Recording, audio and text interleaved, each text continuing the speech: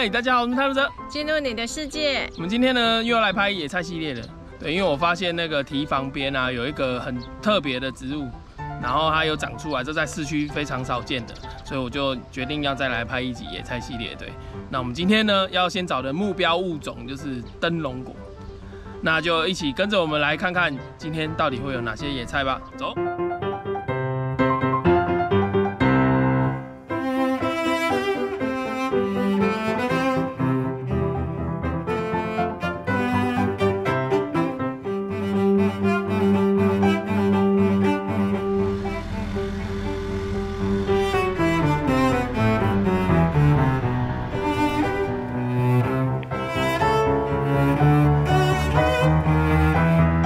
寻找灯笼果的过程呢，在堤旁边呢，就发现了一颗成熟的龙葵，那就是俗称的欧利亚。那它成熟了，是黑色的。那我们就来采集一些浆果回去吃吃看。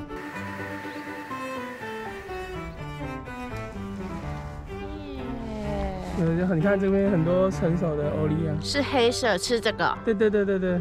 那当然，它这也是菜啦，但成熟的可以吃。啊，菜要怎么煮？菜就是炒菜啊。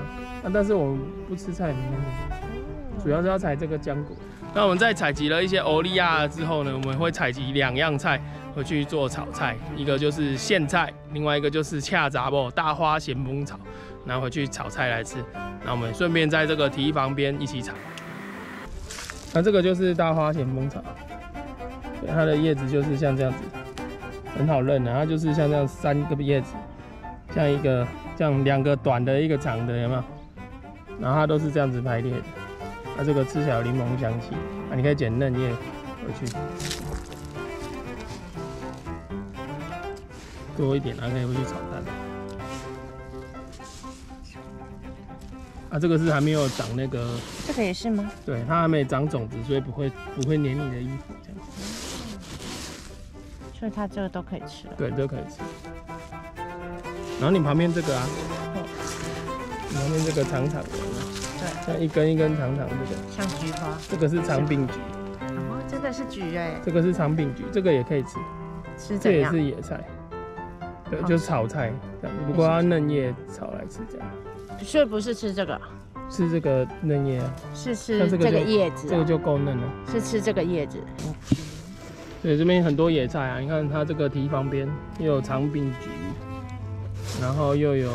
大花咸丰草，还有苋菜，然后还有水丁香，对，还有等一下来这里。对啊，所以我们如果饿了就来提防找东西。像够炒吗？可以可以可以，炒个蛋嘛。好。对可以。你看哦，人家是去菜市场买菜啊，你是来提方边采菜。不是啊，那我还要带一个专业的来哎。啊，就提方边买菜不用钱。哦，那我们刚刚采菜这边呢，你就这样一直过来，你看这个就是水丁香。水丁香，可它有一个强烈的味道。我上次吃，我不太喜欢它的味道，就是有点臭臭的。不会啊，就是会吗？嗯，它的味道蛮强烈的。哎，也是要炒的。对，也是要炒的。我们可是它有我有介绍过，不过它好像就是应该要先穿烫过，把它那个臭臭的味道给煮掉之后再炒的。对，我不太喜欢这个味道，这我蛮雷的，雷到了。应该是你煮食方式，可能我煮的烹饪方式是错的。对，水丁香，对你看连这个也是可以吃的。这个是什么？你知道？这个牛筋。牛筋。嘿，牛筋草，它拿来煮茶，喝起来像藕啊煮的茶。对。啊，这个来了，这就是我们今天的物种，叫苦苣。然后它这个就是还没有成熟，所以它是绿色的。那成熟之后会变成黄色的。这是我们今天要的目标物种。这个是比较年轻的灯笼果，所以它还都不能吃，我们就让它成熟。啊，我们要找比较熟。你看这边都水丁香，长很多。哦，这个很嫩哦，你要再给它一次机会吗？水丁香，嗯，阿生你要穿烫吗？我穿烫看看。你要不要再给它一次机会？啊，你吃哦。我没吃过啊。好，你吃，说不定你可以。要很多吗？你两两个两三个。它是用炒的吗？还是用煮汤的？还是干嘛的？应该是穿汤再炒一下。是啊，炒嫩一点。OK OK。再给他一次机会啊！我上次煮的太难吃了，我上次觉得哦，好臭的味道。嗯。然后这个这边有个这个大飞扬草，它的形状很特别，就像一对翅膀。嗯，它这是一种青草茶的材料。对，你要煮一点吗？我们在前面发现了苋菜，比较好的，好好哦，比较好的苋菜到底在哪？在这里啊。你看这，嘿，苋菜很好认啊，因为苋菜都会有这个这个很像毛毛的这种东西。所以我们是要吃叶子。你可以吃叶子啊，这个也可以摘，因为它这个都算嫩。对，这都是品材，野苋菜。啊，苋菜的那个同类都可以吃，什么铁线呐，什么刺线呐，那些都可以吃。毛毛的也可以吃啊。对对对对，毛毛就是它的种子，这个就是你那个一般那个阿嬷不是拿来炒什么布拉提的那种。你看这边这一颗非常的长得非常好，一整排的像人家种的一样，可是它是野菜。免费的。会不会有阿妈跑出来？所以以后知道肚子饿就来提防，去找菜。对，提防很多菜可以今天要吃。什么？我去地方走走。对。这边呢，这边有一个这个，就是它叶子看起来很肥厚，有没有？然后这样软软的这个，这个是马齿苋，这个可以整颗拉出来，这个可以炒。这个蛮香的，马齿苋哦，，好香啊！马齿苋炒起来有类似那个黄豆那种味道。对啊，这个我们整个抓回去煮，要怎么煮啊？就炒剁一剁，炒一炒，这算好吃的菜哦。可以炒姜吗？不用炒姜，炒炒蒜头啊。你闻闻看，嗯，头倒鼻啊，哎，天呢，很像花生的味道，很香啊。马齿苋这个算是好菜，如果下次有看到这个马齿苋，就可以拿回去。所以它连梗都可以吃对，对对，这个好菜，这个好吃，这个真的好吃。真的好吃。这边啊有大量的马齿苋，看这边整个都可以吃。哦，那我们采了野菜差不多之后，我们现在要采一些构树叶来回去煮鸡汤了。构树，到处都有啊，这个。罗嘎球啊，这样就够煮一锅了吧？够够够，这蛮好吃的。我们发现了灯笼果的群落了，这边又有看到这个很熟的灯笼这，也太容易滑下去了，就熟了。也太小颗了吧？对啊，就没有肥料嘛。哎，那个也是哈，对，桃那也是要那个熟的，这个好远很好哦。我觉得我现在蛮丑的。好了，这个很熟。对，这很熟哦，这超漂亮的，对啊，哇这超棒，没了吧？没了。好，那里那里那里好多哦，哦，哦，那超多的，超多果。今天可以采一大盘的，小孩应该很开心。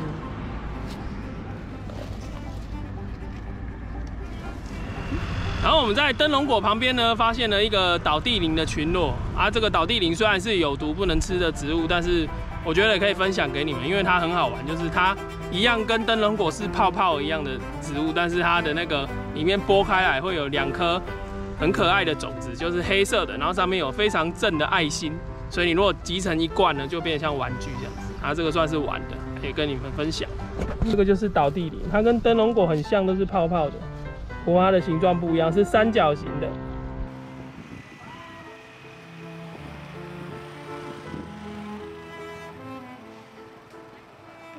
呃，那我们来到了这个大马路边，我们要采一个你平常常常看到但是都没有吃过的植物，这就是台湾栾树，又叫做四色树。那它的嫩芽呢是可以吃的，只不过要焯水很多次。我吃吗？对，我们一起吃。对对对，然后我们来拔拔看它好不好吃了。走，拿着哦。还是煮茶吗？不是是像菜，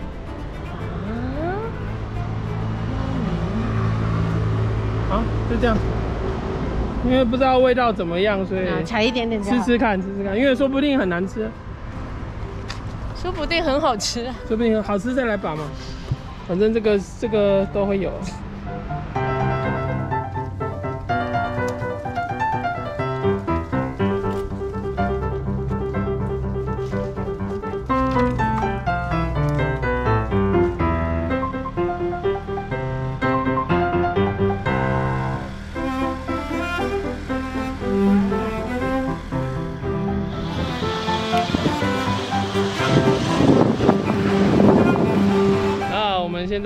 要找毛西翻脸呢，所以我们来到机场旁边的空地。然后这个地方呢，它有两大群，两片大片的空地都是毛西翻脸，所以想吃毛西翻脸，我都会来这边采。对，然后我们现在要找比较黄的果子。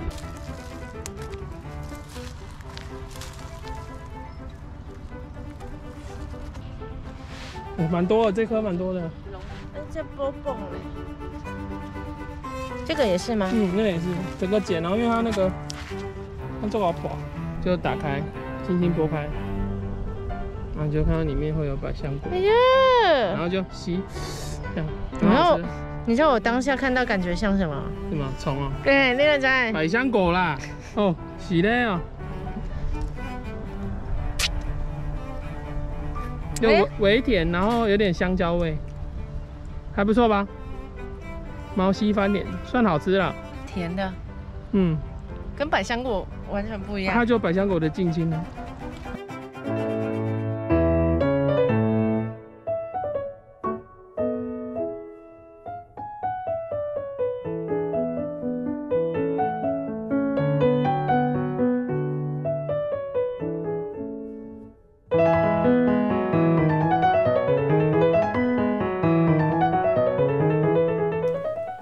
这些就是我们今天采回来的野菜，总共有十样。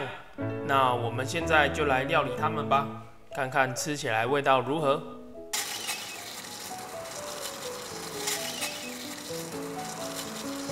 我们先要先穿烫那个栾树芽，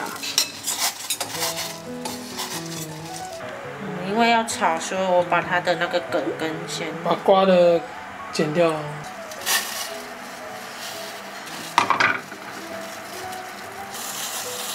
你觉得它是香的？我觉得它不算怪味吧，它就是它一个臭臭的味道。一种柴柴的味道。哦，它颜色出的好快哦，这个是没什么颜色哎。好，这样烫一下就可以。哦，我们捞起来，因为等一下会炒。它的茶很好喝这样子。嗯，爸等一下把这个水留着。喝一口。好，可以啊。哎呦，差点烫到自己。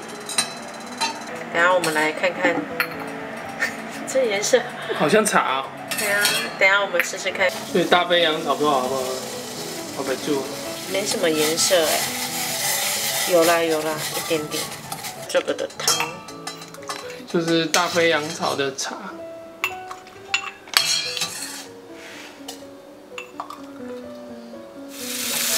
好，我们现在就要洗够树叶，等下来煮鸡肉汤。因为是野采的，我们还是要把它洗干净。因为你不知道有没有野猫、野狗，背着东西洗洗洗洗，什么都要洗一下。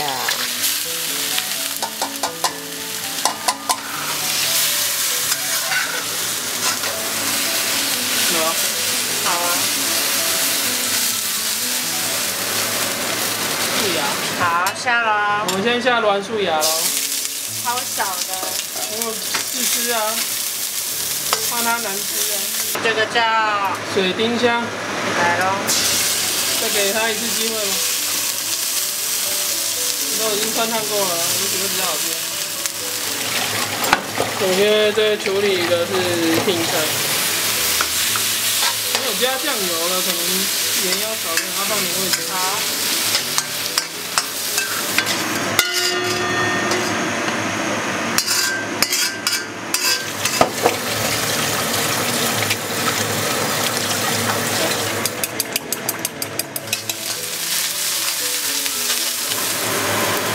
等它收汁哦。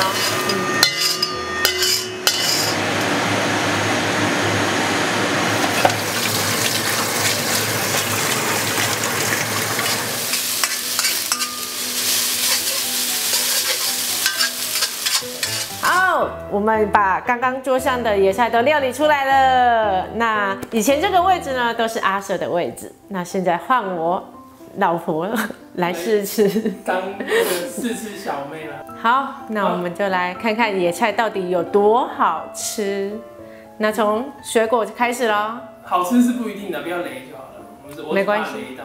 哎，好，先从毛细翻脸开始。好这应该是很多人小时候的回忆。啊，这个我刚刚去采集的时候，我有在现场吃，对啊，吃看看。还不错。现在认真吃哦。刚不认真，啊，我觉得好好吃哦。是不是？所以小孩才会跟你有点抢。这算是好吃的果了，嗯，好好吃哦。观点算是不错的，对啊，有点香蕉味嗯，的，甜甜的。哎，酸酸甜甜。好，那你现在再吃一下欧利亚，欧利亚彩的欧利亚，黑黑的，很可爱。而且它会蓝色，它是紫色，对，而且它很很 juicy 哦。真的哦，嗯人家小蓝莓呢。嗯，再来小孩最爱的灯笼果了。灯笼果其实灯笼果，果在东南亚的水果摊也在卖。这也是在那个哎抽奖哎。对啊，就说这个就最漂亮，这个哇，有点像洋葱还是苹果？对对对，看得到吗？好，就是蛮可爱的。好，我吃吃看。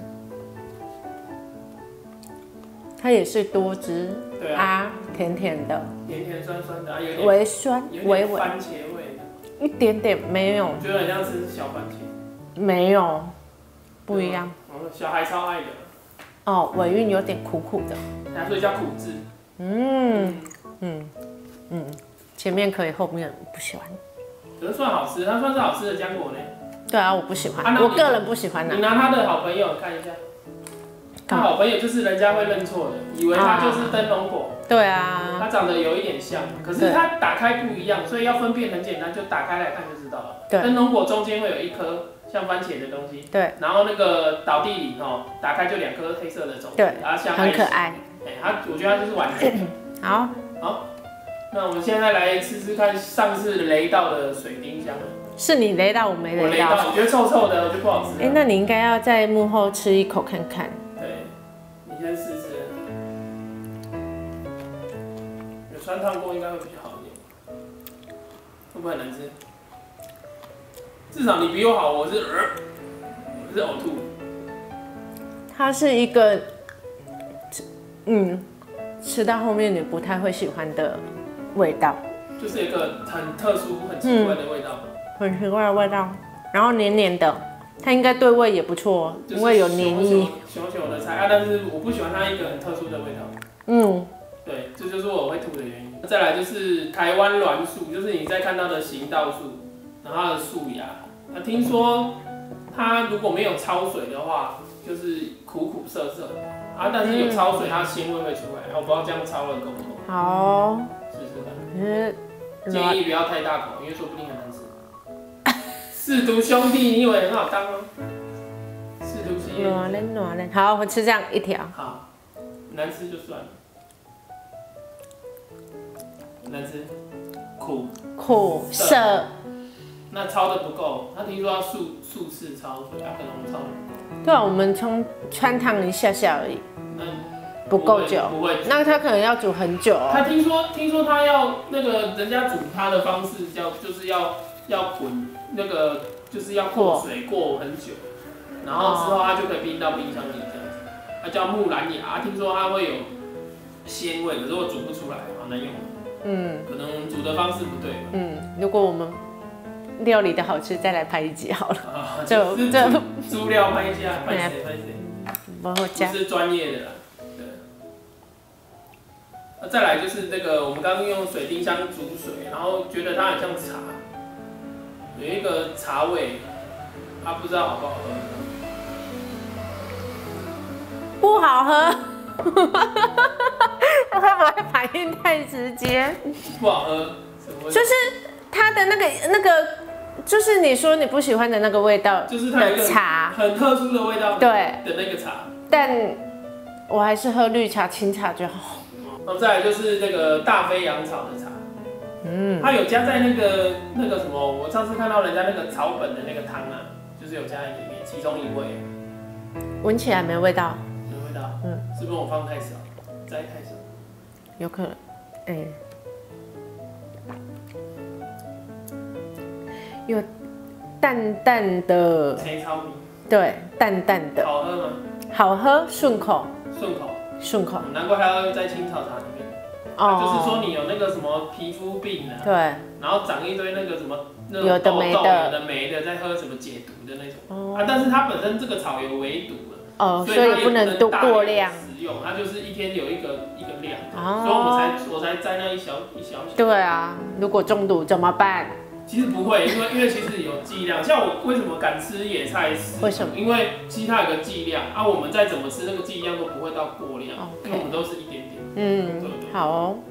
那我们再从味道最稍微重一点的那个构树鸡汤开始，哦哦，这个好哦，这很好喝，我觉得很好喝，好喝哎，很像苦瓜，对不对？尾韵有苦苦瓜瓜的味道，味道，但是不会苦，不会，它就是有苦瓜的香气，但没有苦瓜的苦味。嗯，然后跟鸡汤煮起来，还有那个蒜头的那个味道混合起来，非常顺口，非常好喝。我觉得它是好吃的野菜，那请问这个菜可以吃吗？可以吃。是可以吃的所以我们故意摘的时候会故意找那个比较比较嫩的啊，因为太瓜了你也是不好吃的这太瓜了啊，就太刮，啊、所以通常我们会摘嫩嫩芽啦。哦。啊，你刚摘的那个都太刮了，你没有讲啊，啊，就是让你试试看啊。傻眼呢。好，再来就是我最期待的之一叫马齿苋，然后我们刚刚找的那个马齿苋很漂亮，哇，它这样炒一定很好吃。一定很好吃，会有那个黄豆味还是花生味之类的。闻起来就是香香的。它在农村也是很受欢迎的哦，那个野菜啊，又叫做迪波林啊，就是那迪波吃一吃会比较有奶。会太刮吗？不瓜，但它有一个酸酸对对对，会会有一点点酸酸。哦。嗯，第一口进去还好，你觉得蛮好吃的，其实它是蛮好吃的。然后中间它会有一点酸酸的，嗯，对，它中间有点酸酸的。但就很像加了醋的菜。哦，加了醋菜，可是味道是好的嘛。然后我们现在就是要来试那个芹菜，很芹菜其实大家都吃，只是我们今天做的是野苋菜。对，一般他们吃的苋菜跟我们抓的这个野苋菜不一样，我记得芹菜它的样子是比这个再嫩一点，没有，它比较小就摘了啦。哦，更嫩嘛。这个是老到一个不哦，它是老它还，有一点就是我们采的那个叫刺苋，嗯，然后还有其实外面还有铁苋呐什么的，其实很多种苋菜啊，但是都可以吃。哦，所以跟我想象中的那个还有不一样红。苋菜啊，很多种，好哦，是地方上的啊炒肉应该不错看看。啊，如果太刮，就是你没有把它太嫩。然后试个味道就好。其实它蛮好吃，你会一口接一口哎。蛮好吃的，嗯，那就可以配饭了。可能是加了肉吧。那本来会不会野野菜，如果你找比较通俗的那种，应该都还蛮受欢迎。你觉得好吃啊？好吃它是好吃的，好刺线，好吃。啊，再来就是这个恰杂窝，会粘你衣服的恰杂窝，平常看它很讨厌，有没有？我们把它吃掉。然后呢，就把那个粘你裤子的吃掉，对让它粘你裤子。我是知道它可以煮青草茶的，用这个煮青草茶，还有一个柠檬香，你看它是不是有个柠檬柠檬的那个一个苦？嗯，有，哎呀，所以它算是可是它也算有偏带苦。稍微啦，嗯，对，微微的苦啊啊，那个微微的苦可，是它有点像九层塔那种九层塔那种香气。它算香草的一种，嗯，对，有有有尾韵出来了。好，嗯，一那个那个香气会从里面这样跑出来。柠。檬味，柠檬味，嗯对我觉得还蛮好吃的啦，有有有有。哎呀，好，那呢，我们今天野菜系列呢，就是主要是带大家去认识我们身边，因为现在生活太方便了。方便了，对，所以其实我们这样拍一系列，我自己也在学习，也在认识，因为有时候他带我去看完之后。看到我就哎、我认识他，但到底叫什么名字我也不知道。那因为我们家小朋友有会问我说：“妈妈，那个宝宝有拔给我吃哦。”然后我通常是那个，那能吃吗？不要乱拔。对，那也透过这样，我也在学习，小朋友也在学习。那你们也可以带你们的小朋友啊去认识呃这些野菜，不一定要吃，真的不一定要吃，因为有的东西是一来我们不一定是组对方式。它有很多的方烹调方式，我们不认识它，所以我们用出来就不好吃。但我们可以认识它原本的样貌。那有机会我们再去找新的野菜，这样对啊，主要是为了灯笼果来的啦，是为了它。因为它很难找，嗯，我只有在农村才看得到，城市几乎没有它的存在。嗯，对，灯笼果它其实在东南亚是当水果在卖的，对啊，只是它所以它算稀有吧？它算是可能污染或什么，我不知道就变少啊。然后它你去外面买的当然比较好吃，因为人家有放农药嘛，还、有放肥料啊。哦啊，这个就没有肥料，生命弄的就不好吃啊。甚至来拍野菜，你就会了解说，我们平常菜市场买的菜都很甜，味道很重，因为它就是有肥料、有施肥。啊嗯如果野生乱长，就是无味啊，就拍哎呀，价，没来狗就没营养啦。就难吃啦。好哦，对对对对对。好，那喜欢我们的影片，记得帮我们订阅、按赞、分享，然后不要忘记开小铃铛哦。我们是探路者，进入你的世界，拜拜。哦，我老婆说一定要拖我下水啦，不可以让她自己试毒啦，说叫我也要一起来试毒啦，所以我们就来试试看。我是想要试试这个啦，上次很难吃，到底现在还不会很难吃？我会不会吐呢？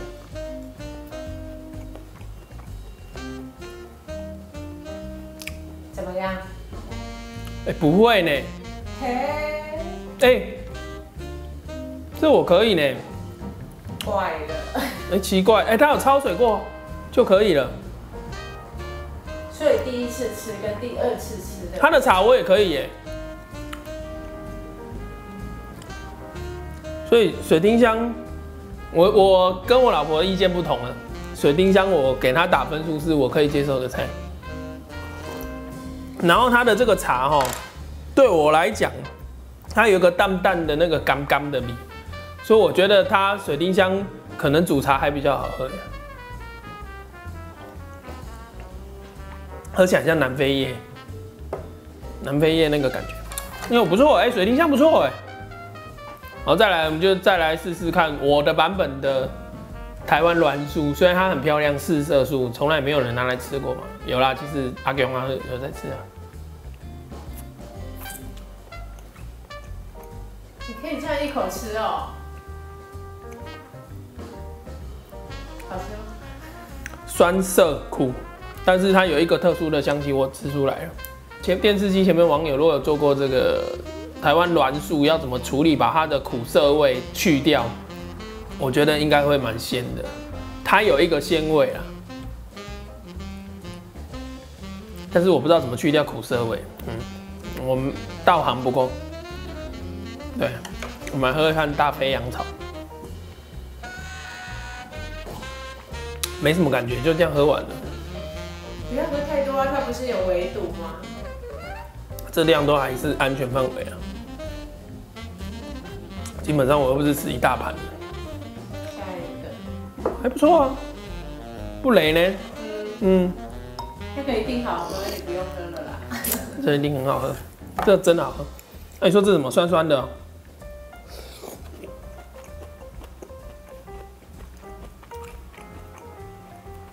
好吃哎、就好吃。哎、有有一个酸味，对，像加了醋，嗯，有一个醋酸味，但好吃哎、对啊，马齿苋好吃。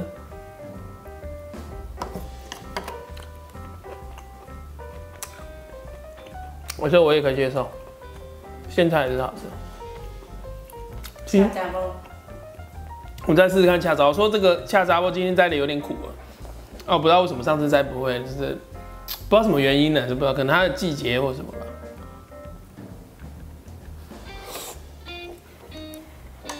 我好像吃柠檬棒蛋糕哎，你 这明明是咸的哦，然后有蛋，一个柠檬味，咸的柠檬棒蛋糕。我这今天今天吃这些野菜来说，就是水丁香让我比较惊讶了，因为之前吃是很难吃，有个怪味，可是它煮过水之后，水也好喝，菜也好吃，那这个会变成我喜欢吃的野菜了。对，所以重新给水丁香一个赞。对啊，然后这些算不错啦，所以我老婆觉得不要踩，但是我会踩回来，我觉得还蛮好吃的啊，可以啦，可以啦。如果说你平常有在吃苦瓜的，就是你可以在苦中感觉到一点味道的，那你应该这些会你会喜欢的。对对，就像就像你如果有在吃那个什么丝木鱼肠，然后不是有点微苦微苦干干的那个味道，那这个你应该 OK。对，那就介绍今天的这野菜给你们，这蓝莓吧。哦，没什么味道哦，而且太小颗了，应该等它再大颗一点。这个欧利亚哦，一颗没感觉，我直接拿个五颗。